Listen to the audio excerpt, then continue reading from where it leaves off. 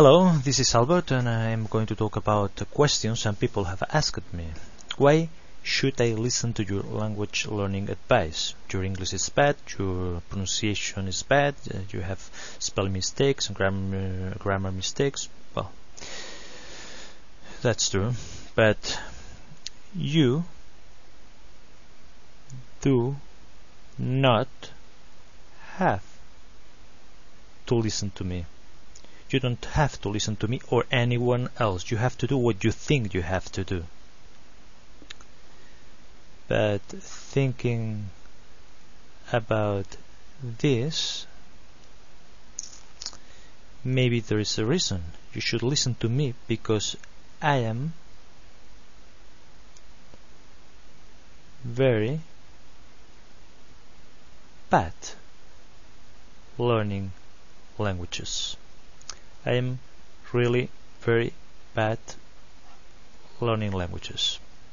So I always thought that it was impossible for me, and I can't believe that that, uh, that I am writing in forums or I am making these videos or or things like that.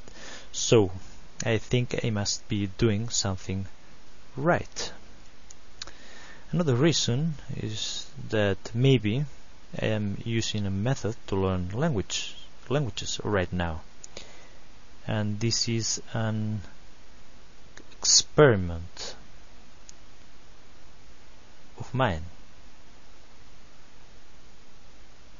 Well you can see in the next months if I am improving doing this kind of things that might be a reason but I think the main reason is that the fact that I'm talking to you right now is